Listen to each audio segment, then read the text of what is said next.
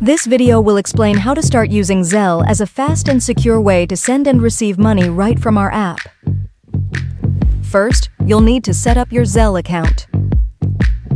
To get started, open the University Credit Union app and tap Transfer Zelle, then tap Setup and follow the prompts to enroll, which include adding the mobile number or email that others can use to send you money.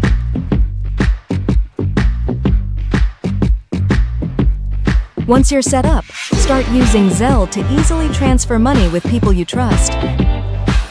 In the app, tap Transfer Zelle and tap Send. Then enter your contact's information or select them from your contact list. Enter the amount, then select the account and tap Continue. Verify all the information is correct and send. You can also use Zelle to get paid back or split expenses.